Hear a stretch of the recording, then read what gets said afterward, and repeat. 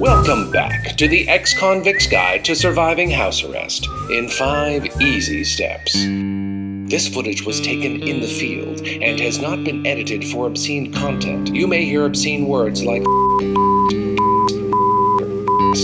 and guideline number five. Remember to bid your host a gracious farewell. I just want to thank you for all your hospitality.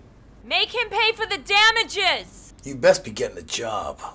Hey, you didn't call me.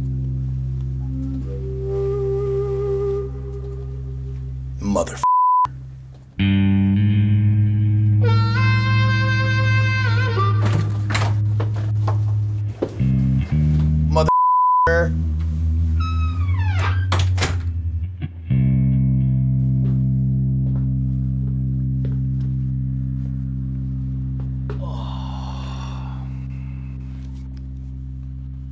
You better make him replace my imported Thai teak hardwood floor. I will, Apple Crumble. You better make him buy us new Swiffy Pro Venetian blinds. I will, Strudel. And I want you to make him replace our 27 inch black stripe TV. Oh,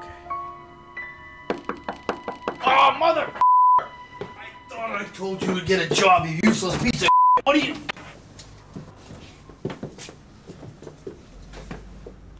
RCMP. Is this your toothbrush? Where'd you get that? We found it, stuck in the tire of our cruiser. So? Nice and easy, big fella.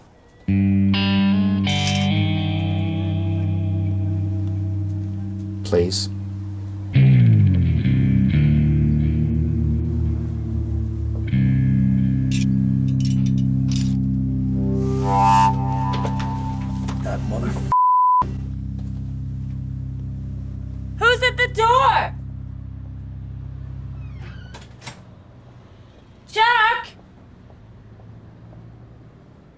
Chuck?